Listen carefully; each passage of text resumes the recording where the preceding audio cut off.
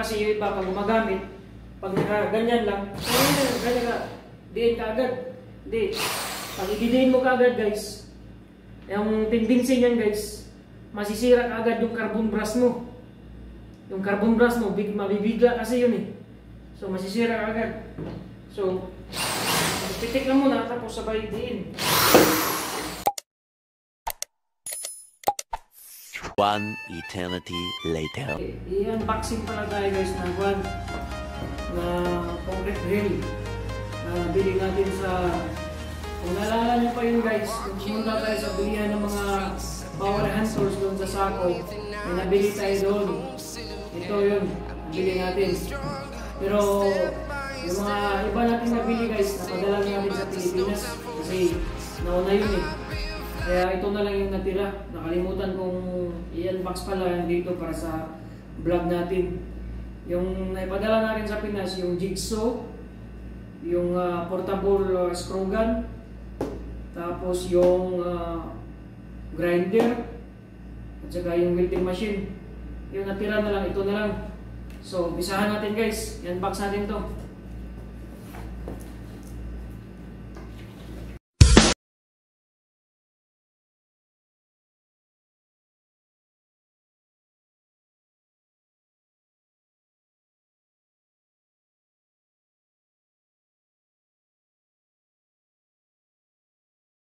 So yung pagkabili ko pala nito guys, ah sinamahan ko na rin din yung mga drill bit kasi mga, kailangan din natin ng drill bit doon eh. Para hindi na tayo papunta-punta sa ibang shop pa. So ito na yun. May pang metal, may pang kahoy. Okay. Ito siya sit siya eh may screw, may pang Phillips, tapos may pang alin, siya, may pang ribor, balisit siya, oh. Nalagyan, oh. Bosch to, Bosch. Bosch yung brand ng drill bits yung mga nabili natin. Ah, medyo may kamahalan din pero at least one din siya. Maganda gamitin to guys, hindi to madaling mapupurol. Kasi sa pangalan pa lang tested na to eh, Bosch eh. Hindi na tayo mag uh, dadalawang isip pa na bakit ganito yung binili natin na may iba naman. Pero ito siya talagang tested na to. Dito basta-basta napupurol yung Bosch na brand. Maganda to gamitin guys. So, patuloy natin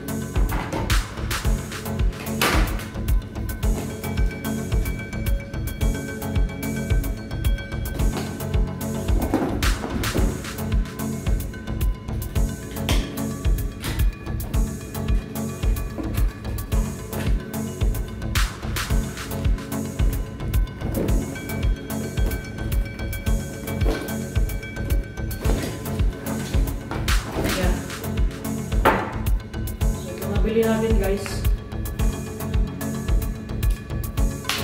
Hammer to. Pwede to pang bakal, pwede pang kahoy, pwede sa simento. Kaya bumili tayo nito guys kasi pag magkakabit tayo ng split type na aircon para doon sa ground floor, so kailangan natin to kasi kailangan natin magbutas doon eh. Kaya napakalaking gamit talaga itong hammer drill para sa mga wall. Butas-butas natin yun. Kailangan natin yun. So, may free din pala siyang talim oh. May dalawang talim siya na free din. Iba pa yung binili ko dito para sa wall. At saka dito sa looban ito may free. Dalawang talim stainless at saka para sa metal bakal. Yan. So tignan natin kung ilang mili ito so 6 mm 6 mili tapos itong isa same lang 6 mili ito yung frame nya 6 mili okay. So guys. Yung power pala nito, ah, ilang power, push power to? Ilang watts to? 550 watts pala. So, matibay to. Malakas to kasi 550 watts eh. 550 watts. Yan. 550 watts pala to siya guys. So, matibay. So,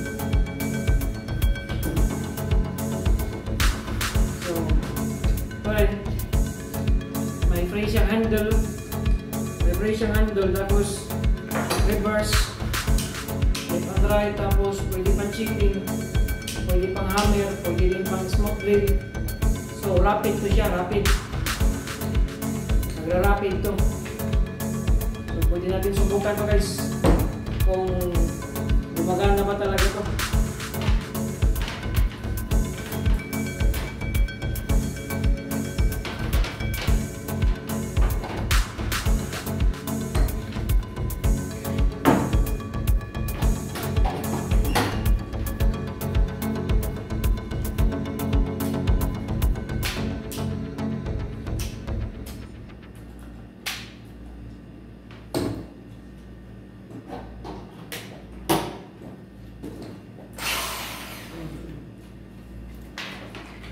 Guys, no?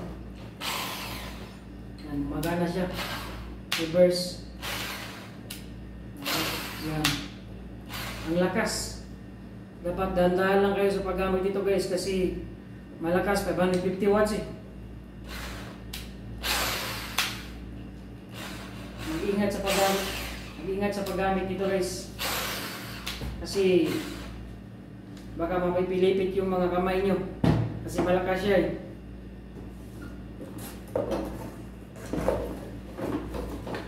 Malakas siya guys, gamitin. Ah. Bago pa talaga. Walang kadungis-dungis. Swerte yung karpintero yung kuan nito, installer mga ga, magapagamit nito. Ang ganda ng mga gamit eh. Hmm. Terno lahat, jigsaw, grinder, portable screw gun. So, puro black and decker lahat yung mga nabili ko guys. Hmm. So, maganda. Good quality. Good choices.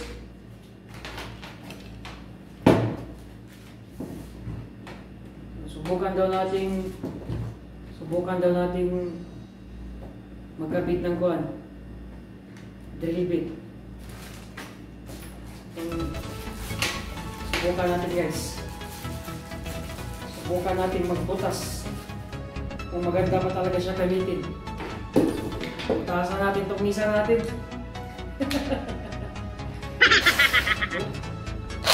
See? Ang lakas. So, natin siya. Ano to? Alis.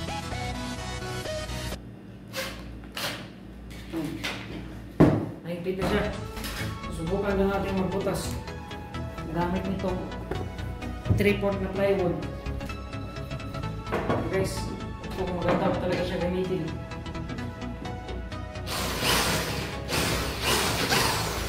Ayan guys, oh, ang bilis lang oh. Ang bilis na siya butasan. 3-port to ha.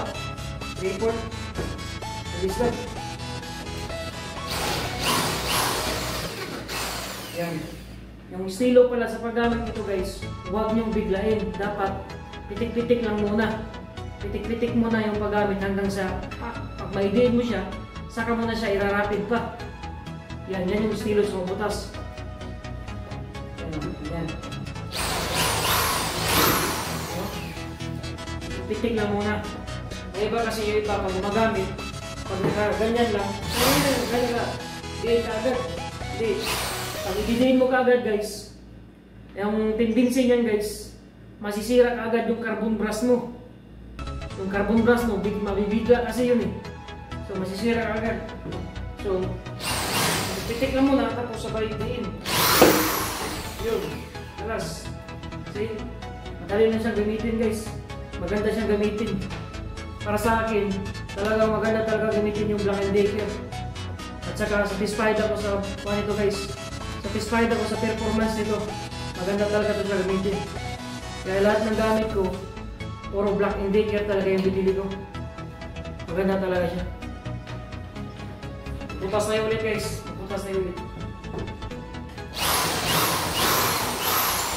Yan. oh. Bilis lang. Saglit lang. Kapal pa yun. Report. Pinatasan natin. Saglit lang siya.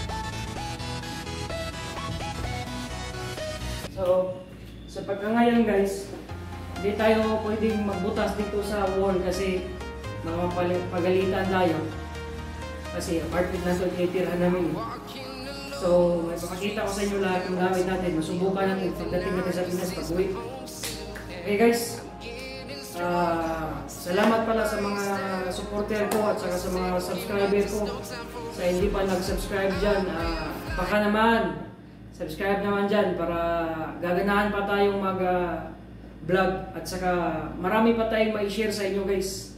At saka sana guys, may mga natutunan na naman kayo sa vlog natin ngayon kung paano gamitin yung ah, concrete hand drill. Okay? Concrete hand drill. So sana may natutunan naman guys. Okay? Bye-bye. God bless.